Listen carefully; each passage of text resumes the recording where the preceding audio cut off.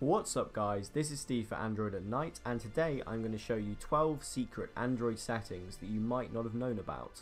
A lot of videos out there talk about the Android developer settings and in order to unlock these you need to go to your phone setting menu, you want to scroll to the bottom to where it says about phone. You then want to scroll down again to where you can see your build number and you want to tap on this 7 times. This will unlock Android's developer settings so I am going to show you 12 of my favourite settings that you can tweak in your developer options.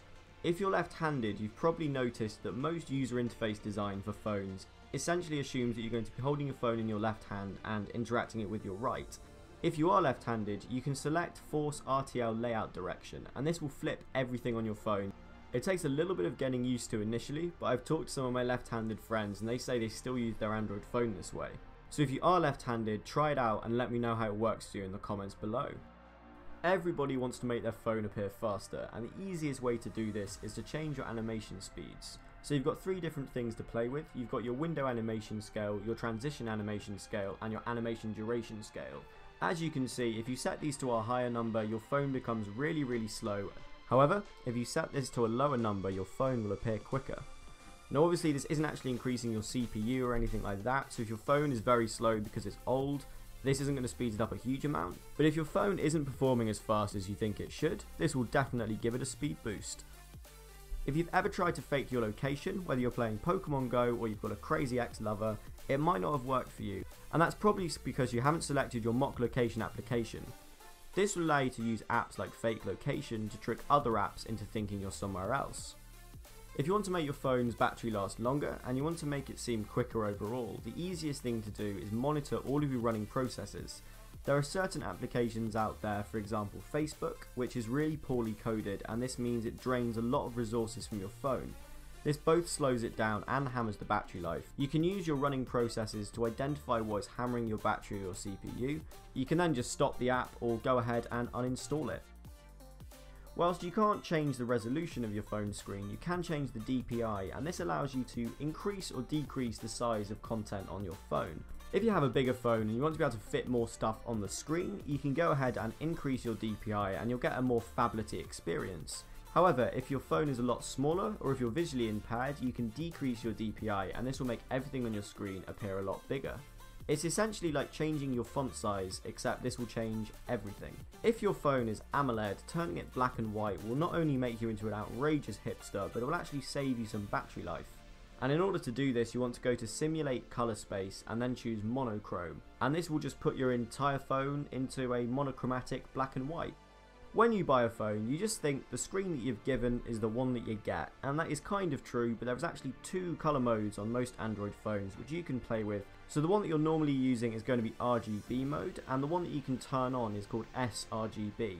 I personally prefer RGB as it's a little bit more poppy and it really complements an AMOLED screen. However, if you want something that's a little bit more true to life and a little bit more muted, then you can always try sRGB. The next setting is unlocking your phone's bootloader and an unlocked bootloader is the first step to rooting your Android phone and from here you can install a bunch of different apps that don't normally work or you can install a custom ROM which will completely change your phone's experience.